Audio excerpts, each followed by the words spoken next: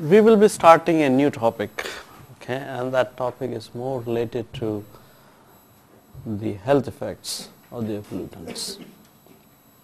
See if you recall we begin with a very three components you know like STR source transport receptor.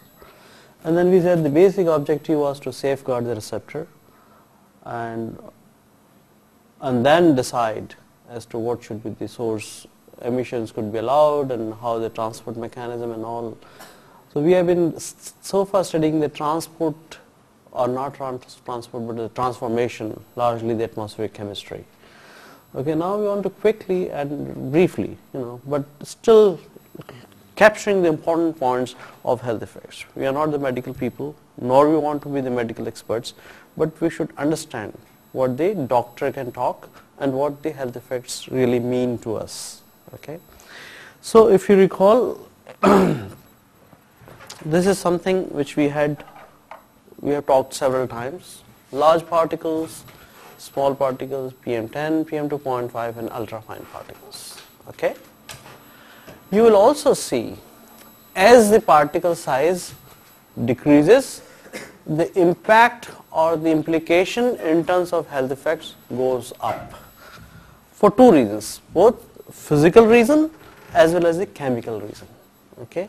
Because you see when the particle becomes small okay its surface area becomes very large and surface area large is going to absorb absorb lots of toxic compounds which may be the organic compounds the metals.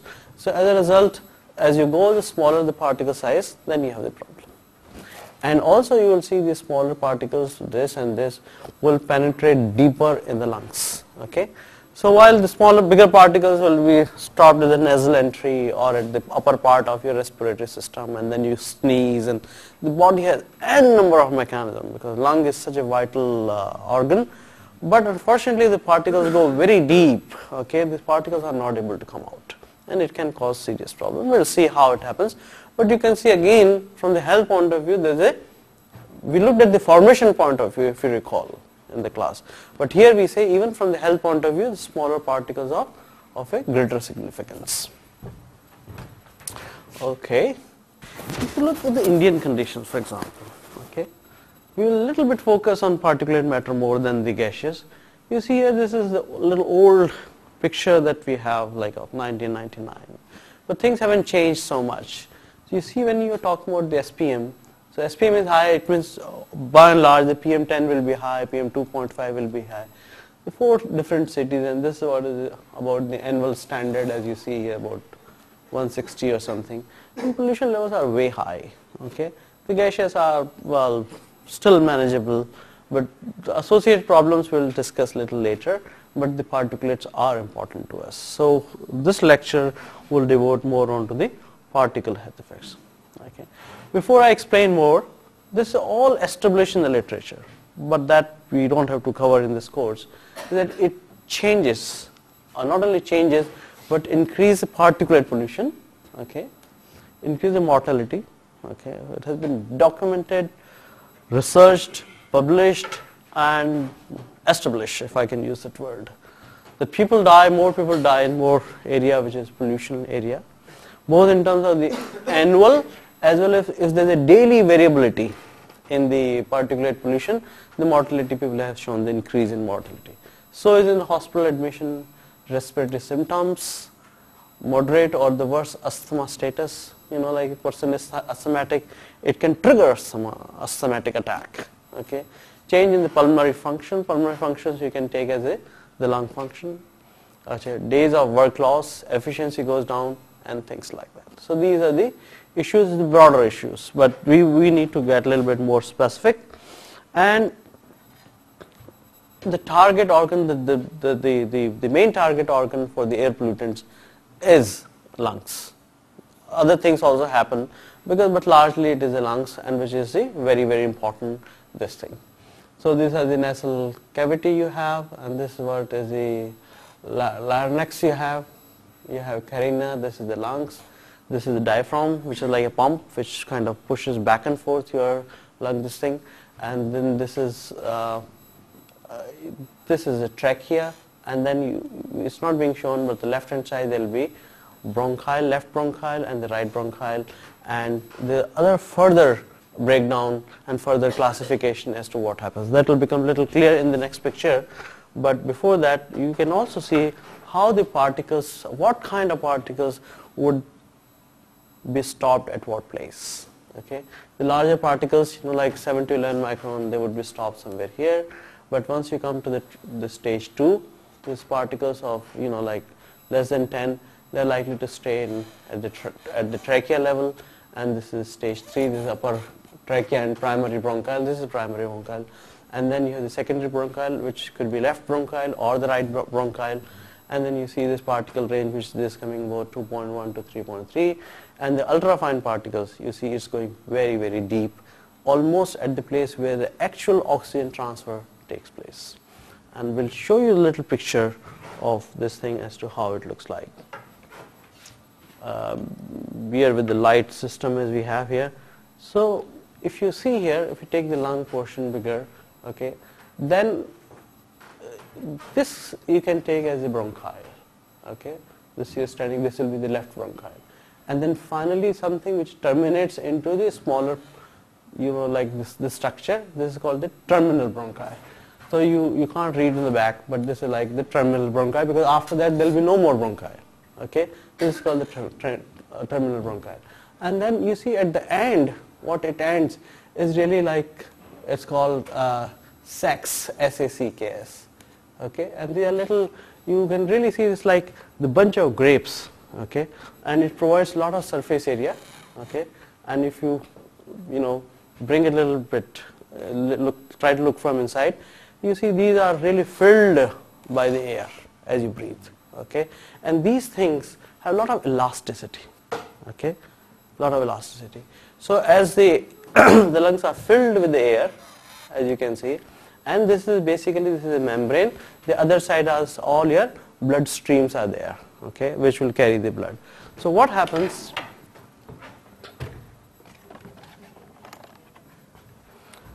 So if you have something like this is filled with air. And this side are the approximately your your blood blood carrying you know, um, uh, not the arteries but um, blood vessels. So here you have the oxygen and plus something pollutant or whatever. See the partial pressure of the oxygen is way high onto this side. So as a result, and the partial pressure of CO2 is very high on this side. So CO2 will exchange because have, and this is a membrane, don't forget.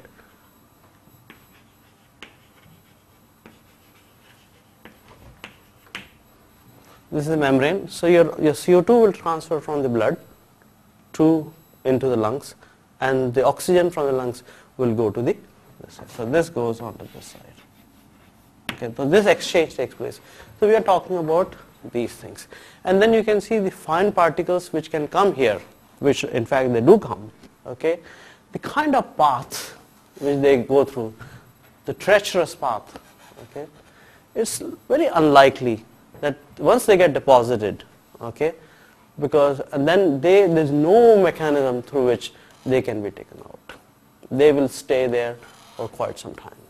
Okay, or they stay there in fact permanently, because the upper part, okay, you sneeze and all and all the dirt from here will come out. There's also body as a mechanism to clean the things from even from this region. Okay, we'll see it how it does. But then if things go deeper, okay, and get deposited, okay, they will be damaging the tissues here and once these tissues are damaged almost there is no possibility of recovering the things. One is the aging process, people suffer and then somehow what really happens when tissues are dead, it loses its elasticity. And once it loses elasticity, it is kind of, you know, like it cannot, cannot maintain the partial pressure. So the, the, the exchange of both oxygen as well as the CO2 is affected. So both happens because of the pollution as well as the aging process. So you can see the person is old and he's in polluted area. See as it is because of aging process he has difficulty and then exposed to the higher pollution level. So you can see how it kind of cause the problem. So older people will have the, the problem and there's no way these can be regenerated. But fortunately in the body these are millions of sacs. Okay, sacs are like a pocket. Okay, so millions and billions of sacs are there but then they get damaged. Okay, but if the particle which is not deposited somehow, there is also the possibility that that particle can go back because we are talking very fine particles with almost insignificant inertia. Okay, so this is what is the we are not the doctors, we are not going into deep things, but still we should know about these things. Okay? Like, let's look at the upper respiratory part of the lung. Not at the, at the end, but at the upper part. You see here, this is the, uh, it is, the, the, the, it flow, flows through this one, the air. It has a little hairy structure, okay? See here, hairy structure. If you take the, the blow up picture of this one, it looks like this. Okay, and this hairy thing is called cilia. Okay, and in addition to cilia, there is a mucus, which is called mucus layer. Is the mucus, okay, which sometimes you sneeze. That is basically mucus that is coming out. That is also secreted. Okay, that is there, and this and the particles will because the wet surface so it is on the upper part. Lower part, if you have the uh, at the at this point, if you have the wet surface, I think the person will die. Okay, so that's where we don't. We just want the gases there. But in the upper part, we have the mucus and mucus layer, and uh, the body. The moment the particles are there, more mucus is released. And the cilia, as you see them, they are constantly like waving in the lungs. Okay, and once they are waving, so the particles comes and then it kind of really pushing them little up okay and once it pushed them up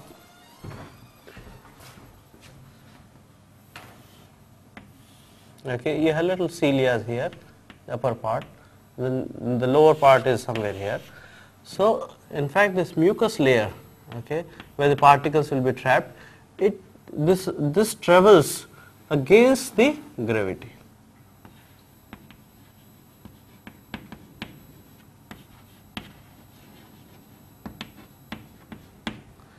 So cilia is cleaning the things and what are the particles that are trapped which are the little large particles 3 micron or so they will be traveling along with the mucus okay?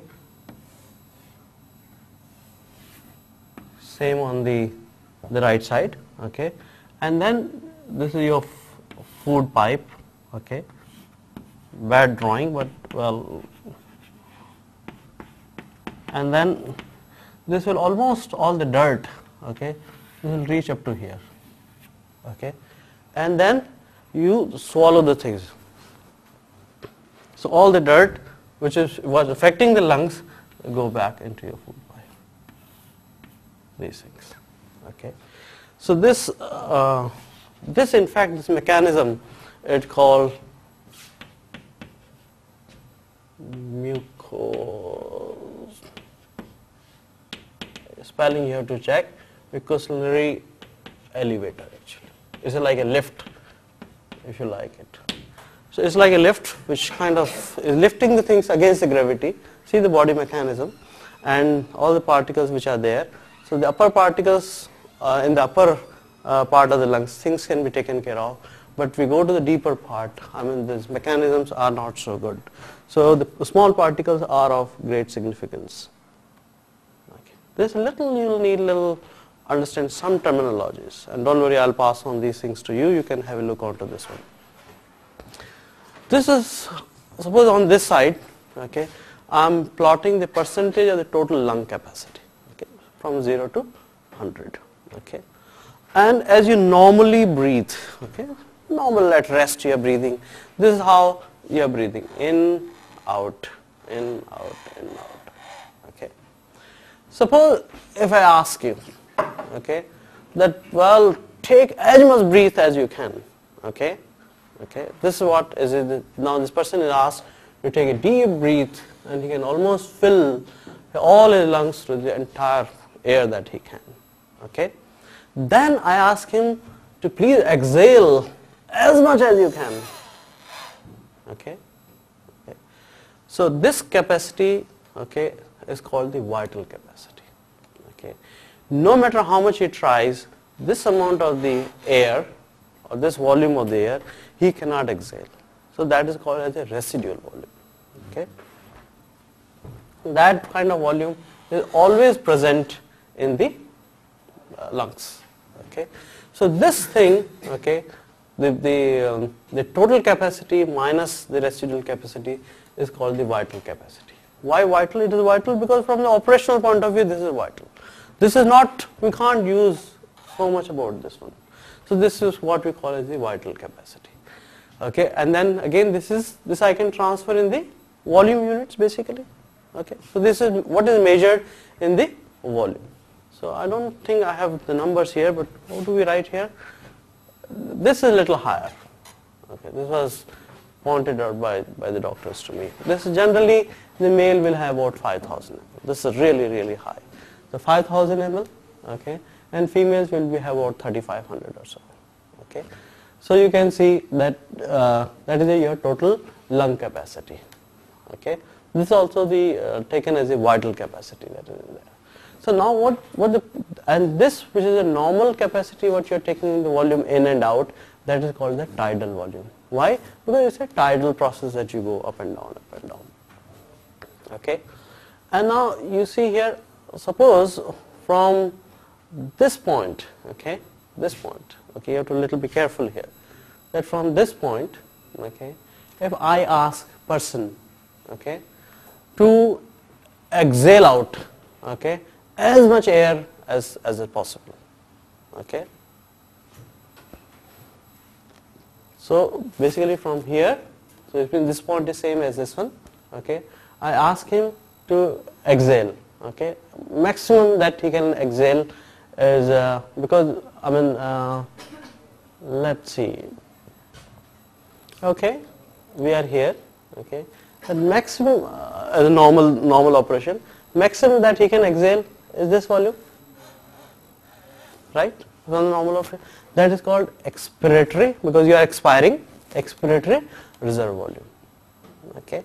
So it means what really it indicates is suppose you are feeling very suff suff suffocated and something polluted air has gone so how quickly and how much you can exhale out so that is called the expiratory from your normal level that you have expired so this is the this is the level okay inspired one inspiratory from normally normal I have taken and then again I want to take. So this is normal. See this is see. And then go beyond that. That is called the inspiratory reserve volume. Okay. This volume is also very very important. And that again lung capacity and something. Suppose you want to go uh, in a smoky area and still want to do something. You are, you are in you see the smoke and you want to go and put off the stove somewhere. Okay.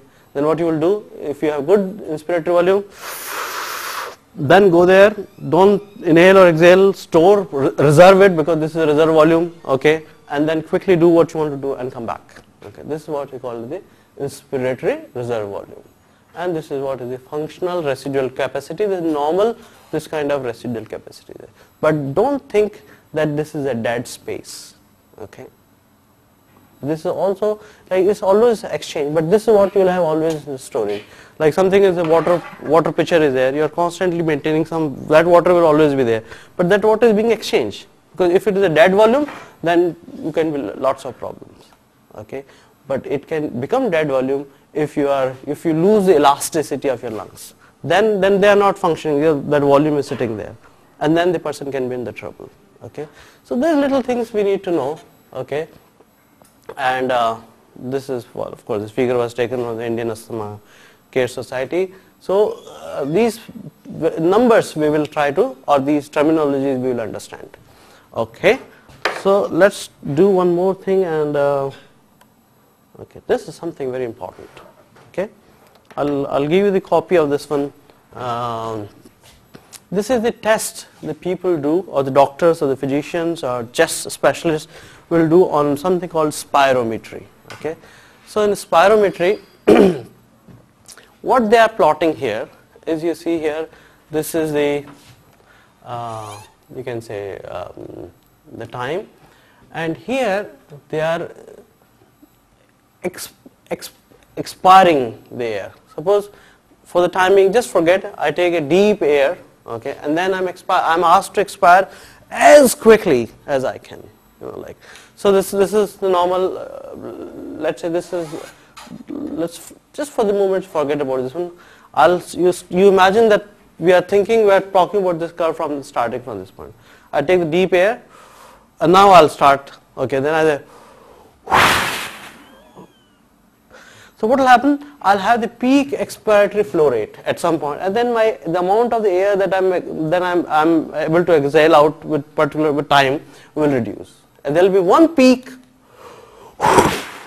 So that peak and afterwards it reduces. Okay, okay, and then again I'll take. So this is cycle of inspiration. Okay, and this is deep inspiration, and you are trying to exhale as much as you can. So now this is called flow volume loop. Okay. So this flow rate at different time, this is the great significance to the to see the doctors and also see the effect of the air pollutants. Okay. What you see here, this is don't forget this is the flow rate in liters per second. So the first number which we're, we're calling it, we're calling it PEFR, peak expiratory expiratory flow rate. Okay. This is a very good indicator of the person who is having asthma. Okay, and PFR, the moment you go into the polluted area, your PFR will reduce. Okay, that is that is again established. And once you have this thing, then you have a little. Then you this is reduced. Then you you need to exhale and inhale very quickly, so you feel very uncomfortable. The point number two, okay, is the is the flow rate okay when the the the 25% of the total vital capacity of the air has been exhaled out at that point okay. So that FEF 25% this is the point number 2 okay. I again repeat that this is the flow rate. Don't forget we are just talking about the flow rate. At the point when 25% of the volume or the vital capacity has been exhaled out okay this is the point where the 50% is exhaled out. This is the point where 75% of the air is, or the vital capacity is, is exhaled out. And this we are giving the number 12, but doesn't matter. Finally, when you have exhaled out everything, okay, that is your vital capacity. You recall that everything was exhaled out, so that is called the vital capacity. This is very, very important. Okay. Suppose what I have plotted here is FEVR uh, FEVR with time. So the, you see here the amount of uh, FEVR is changing with time. So suppose if I integrate FER forced expiratory rate and which is function of time right as I show you. So this is function of time dt. What will this give me? At different times it will give me the volume of the air that has been exhaled out. Flow rate times dt. Okay. So I can put this as and this will give me uh, volume or, or I can call it FEV not R which is function of time this is the volume, simple integration. Okay. This is also a very very important parameter. Force expirated volume. Okay.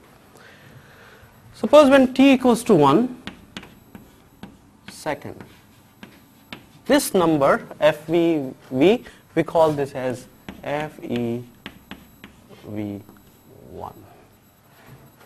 Okay.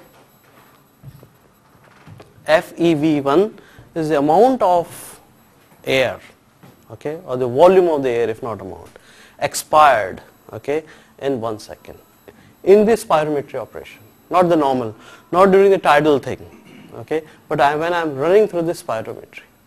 So this kind of graph which we are trying to which we are trying to show here has essentially been plotted here. That's called volume time curve okay that's what we call as a volume time curve. So the same thing what I'm telling you is also the machine or the equipment which you're using will produce this kind of graph for you. Okay. So here now I'm having the units as time and the volume. You are measuring the volume onto the side, okay, and the time. And basically what you're really doing is you have this function which you are integrating, right. So if I have to find out what is my FVV1, FEV1, so I should go at one second, okay, not this one, I'll look at this one, right, clear? No problem with that? So I can also find out the other parameters like FV1, FV2, Fv FV.75 but from uh, this thing is an important parameter. I'll show you how to assess air pollution effects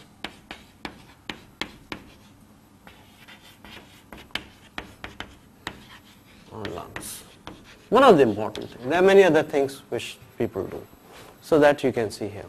And you can, this is the 11, that is FV3 if you see here, 11. And then if you go here, this is also FV3.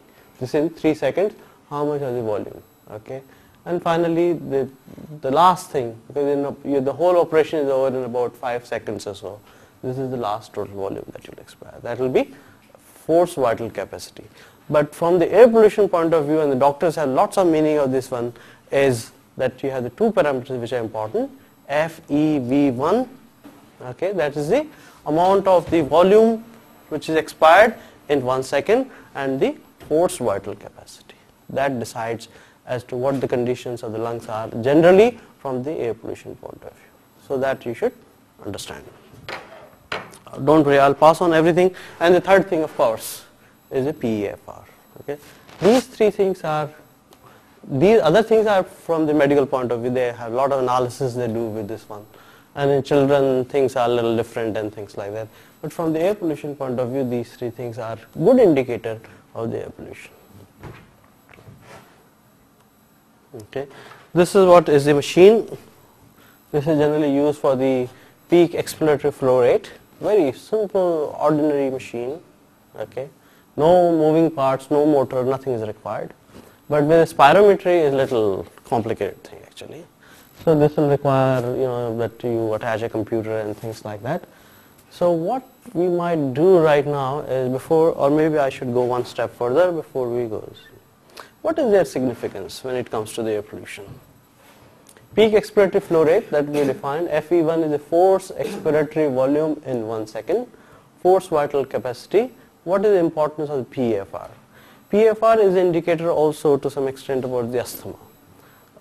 Troublesome breathing due to inflammation and the constriction airways. Okay, Your airways are kind of constricted. You, if I take the section of the airways here, okay, which looks like this, but somehow they are constricted. Okay, That shows the, uh, this thing.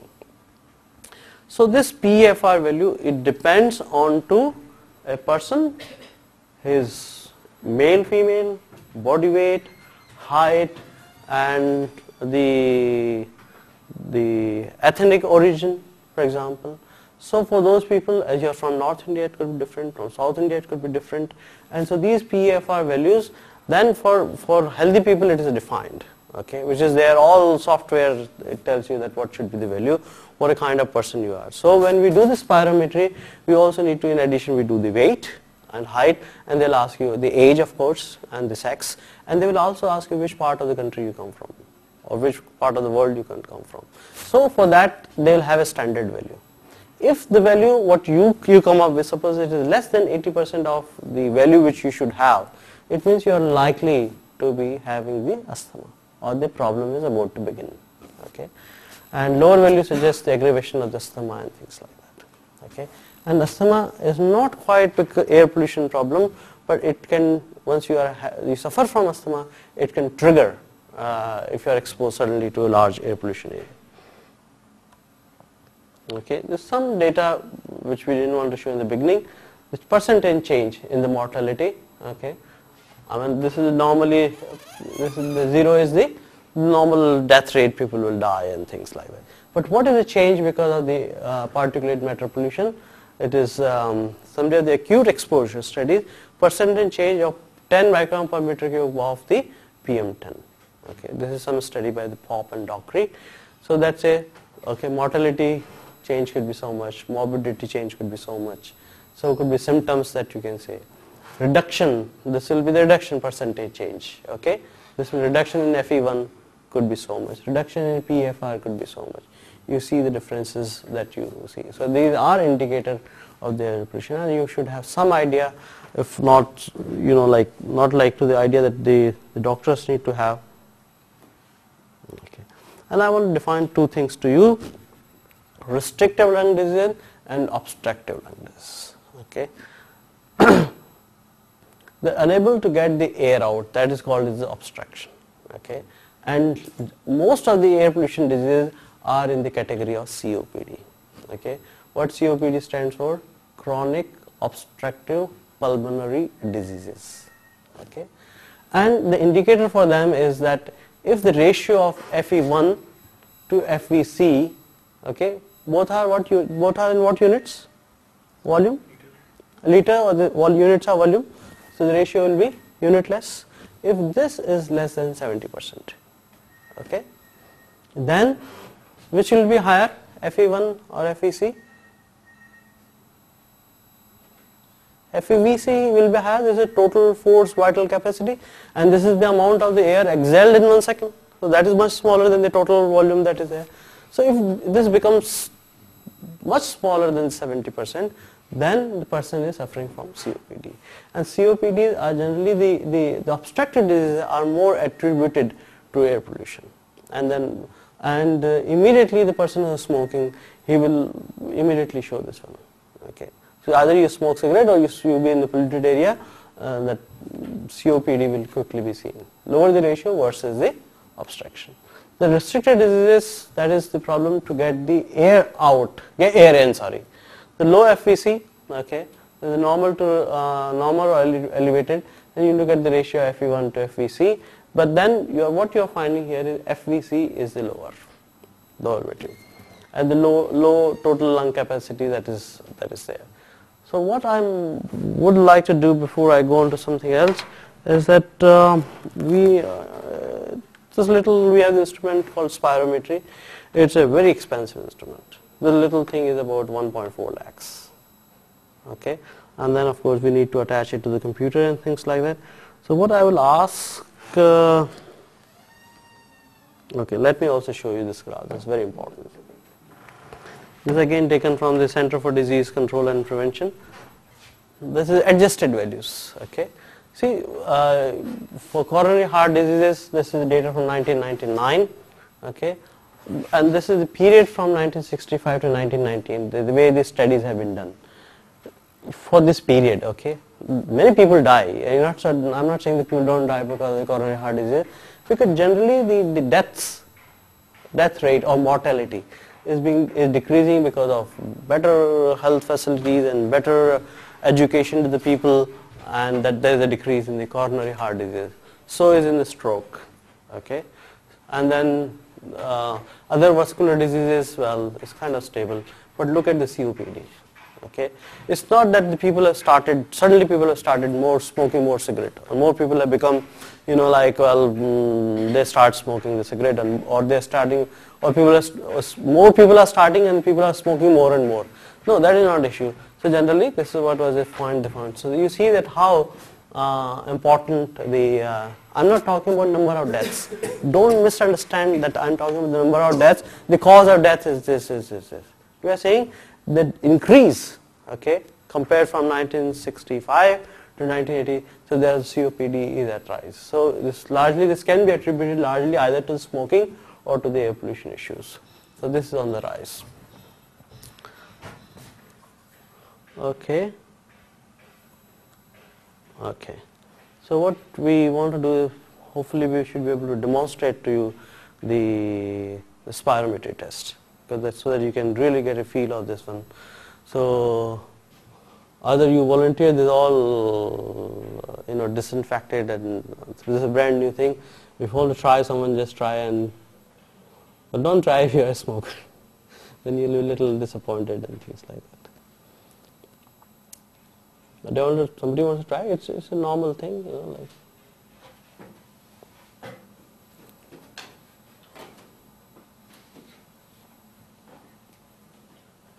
Want to try? Come. It's absolutely. Uh, actually, this is a little for the children. We cannot do it because children they don't cooperate so much. So, what you have to do is uh, normal operation and take the breath as much as you can and forcefully as much as you can force it out. Okay, but we have to have the the we should have the software for this one, isn't it? So okay, what do I do? It's not my computer, so I always have a little difficulty. So you have you have to open this. So you give all the the inputs in terms of the various things. Um, name of the person, then you put the is from North India, and then you know, of course the date and time, year, height, weight, and then you can also give the smoker or non-smoker and things like that, and then. Uh, that we all set. So uh, normal operation and then forcefully and go to the last moment you can exhale out everything because you want to go to the last level of the residual volume that you may have. Try. First normal like you know I'll do it Okay. And then doctors also what they will do is that they'll put the the drug.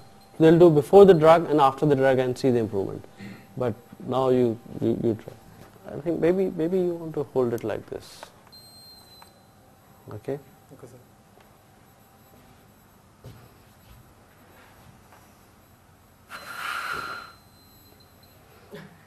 you have to put it inside okay sir. this this one it has to be all the way like this okay and you can't put your finger here. So we, we start then. Second. Okay.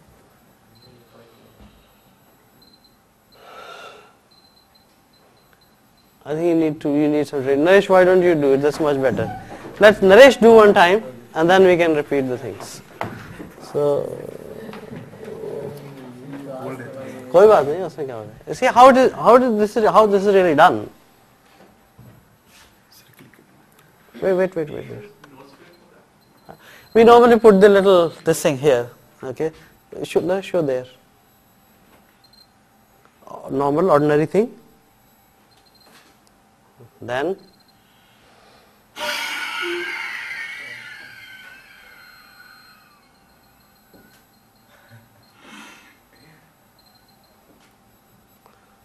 So this this was this was a little uh, okay.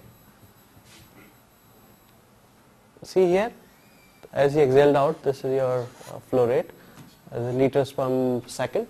Okay, and this flow volume curve is coming here, and then you see here, this is what you say. This is PEFR, and at different time, and then you get the total capacity, and these uh, are the predicted value for him.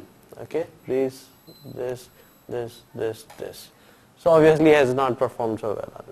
Uh, because he said that he's suffering from something. So normally it should be like this for his uh, condition. So you can find out um, force vital capacity okay? FV1 FVV1 percentage okay? And then uh, PFR that's 9.61 these are the these are the these are the predicted. It means for the person of his um, his age, his height, which I mentioned here, force vital capacity should be 4.7, FE1 should be 3.96, FEV1 percentage of the total capacity should be like this, and PFR should be this. So these are 25. That is after the 25% of the volume is exhaled out and 50% is exhaled out, and then you see here. Uh, he could only perform the 66% of his what he should be. That is the percentage this one. There's only 79% of this one. And this is uh, FEV1. Okay, this is 119.3 uh, percentage. Okay, and this is how you can find out. And um, in fact, what this is done this is done, I mean, uh, we have to get the best results. So this for the same person has done twice or thrice. And then out of three times, whatever the best results are there, that is taken. So you can record the things and then you can see how the people are performing in terms of the, what we as air pollution, air pollution people, we normally want to see this and this and PFR, three things, okay. So especially in PFR, uh, peak expiratory flow, okay, the, the performance was not, not, not very good. You see here, what was expected was at some point somewhere here, okay, and uh, it performed here. So this is only about 48, uh, 48, 50% of the, suppose this is 6, so he should be there about here, okay. So that is how you can really measure it, you can really see the things. Of course, normally this is done by the doctors, but the data or most of the time data are used and analyzed by the air pollution people. Okay, so this part we'll leave there because that's all I wanted to demonstrate to you. But we do this thing uh, three times, you know, so and the best results are taken. Okay. So I'll show you some of the mm, uh, the work which was done. So uh, so you, you can get the real feel and real numbers, you know, like master student, okay. Uh, he went on to do the measurements of the pollution levels at three different locations, okay. okay. And he kind of involved some people for the measurements of spirometry at these three locations, okay, and analyze the data. Three locations are Vikas Nagar, this is Vikas Nagar, IIT Kanpur and Juhi Lal Colony here, okay. So what he did was, I've cut down many slides, he did the lots of measurement, okay, for PM10 at different places, okay, and also for PM2.5, okay, that's important. So these are the IIT Kanpur was cleaner side, these were little uh, comparatively high pollution level as you can see here, okay, and then lots, lots of people were involved. And then the measurements, this PFR was done daily basis because it's very simple. Just you say, okay, flow this thing, but the spirometry is a little complicated as you can see, okay, and then uh, it takes a while before this spirometry. So spirometry was done in various seasons, okay, they were conducted on each individual of the cohort with the spirometry G. This is the same equipment to observe the general trend FE1, FEC, and this was done daily, okay. Okay. So based on PFR, the people in the Juhi Lal colony, this is the percentage of the population. This is, uh, it means 80, like let's say here the 90% or well let's say about 20% of the people, their performance was as good as it should be. Okay. What you see here is the green zone is the observed PFR was above the 80% of the predicted. Predicted value means in this con concept, predicted value is the, the normal value if you like. Okay, the normal performance based on age, height, sex. So that they performed, I mean in this, in for example the IIT Kanpur, almost like up to 90% of the people, 90% of the cohort or the group, they performed very well. Only there was something like about 15%, their performance was little poor, between 15 to 80% of their actual value what it should be. Okay, But we, as we come to the polluted area, in Juhi Lal Colony and Vikas Nagar, you see their performance, the people only about 65% or 70% people perform as per their, what they should really be performing. But if you go to the more polluted area in the city, only about 20, 20% of the people they could perform as per their expected value. Many people were in the range 50 to 80 percent and there were almost some percentage which close to 10 percent people were in the red zone means they are performing even below 50 percent okay? So that is certainly that is taken as the person already suffering from asthma. Likelihood of these people will if the pollution or whatever the reason they could be pushed to the uh, um, the red zone or, or the problematic zone. So you can clearly see as to how the, the pollution and they have the effect on PFR. But more than that was, uh, the analysis was done for the changes in the delta PEF with respect to PM10 and PM2.5.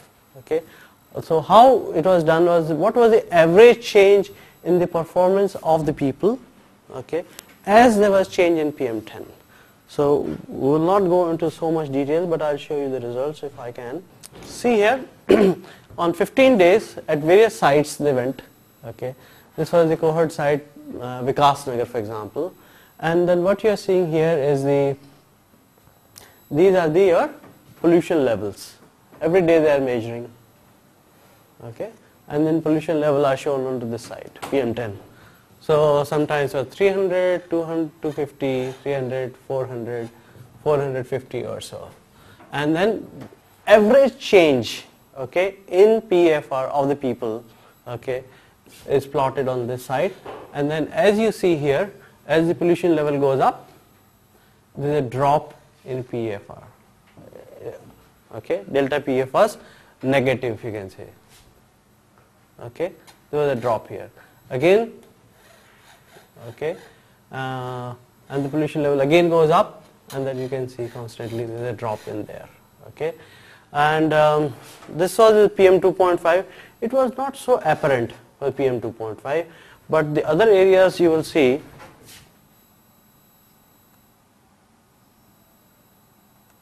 okay.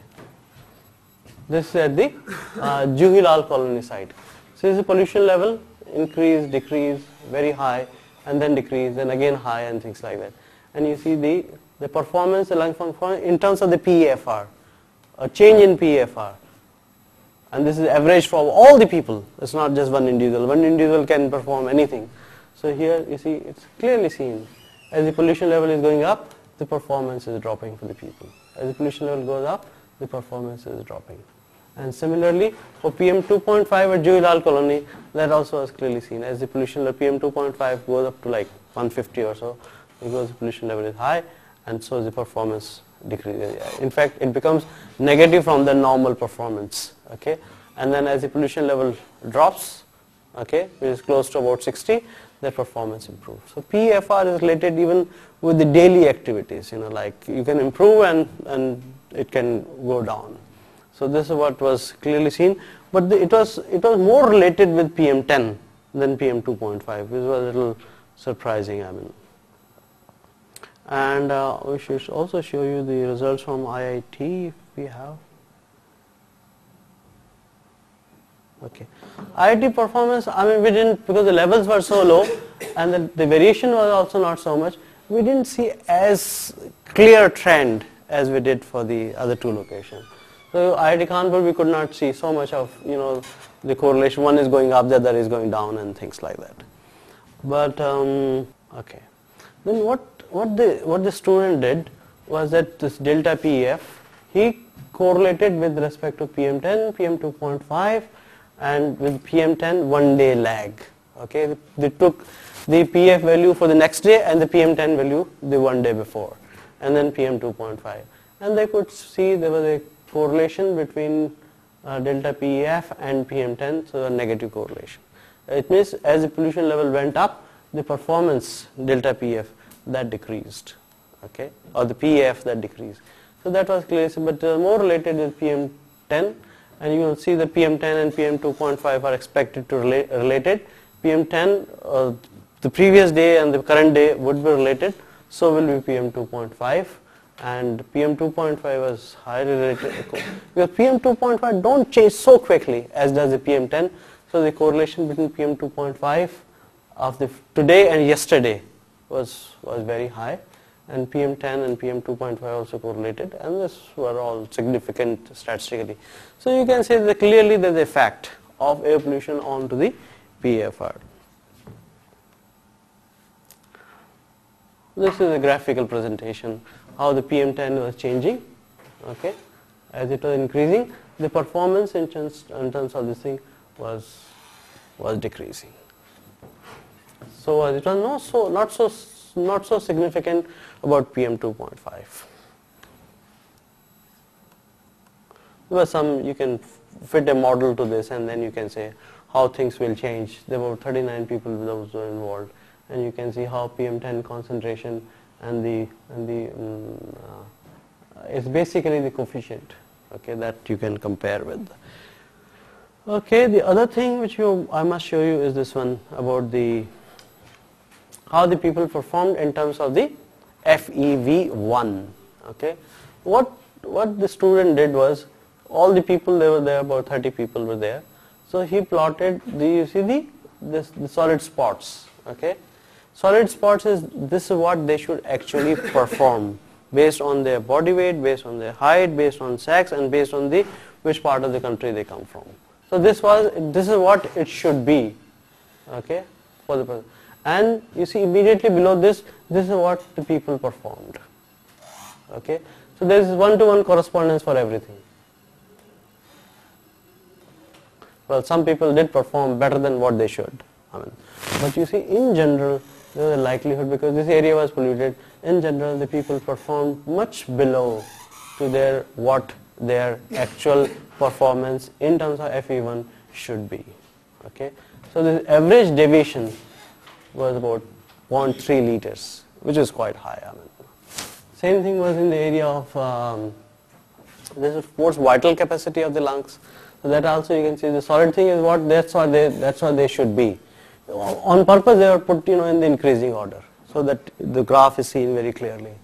So you can see here the people performing below there. For example, this he should perform at this level, but he was performing at this level. For example, this person, number 20, let's say, okay, should perform at this level, but maybe he was performing at this level. So again, we can find out the the mean variation from the predicted values is again 0.42. It means most of the people are performing below what it should be, and the average average decrease in their the vital capacity is about 0.42 liters. Okay, this same thing was in Juhilal colony. That was again polluted area, so that you can see the pe- people performing below this thing, and 0.31 here, and again close to 0.4. Okay, and we also have the IIT data here.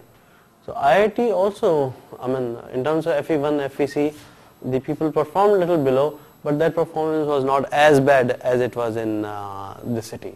So you can see here the mean deviation was 0.13. So that was the deviation as you see here. Because the graph is a little bit exploded, so you see difference is more, but it's not that much difference as compared because starting from 2 liters here. So you can see here. So was in FVC, this was about 0.27 liters or something.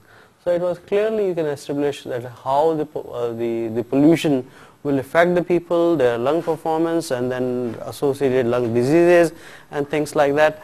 And uh, there are many more things people do in this, this kind of study, but we need to cover this particulate matter and health effects just in one lecture so that you can um, uh, see here.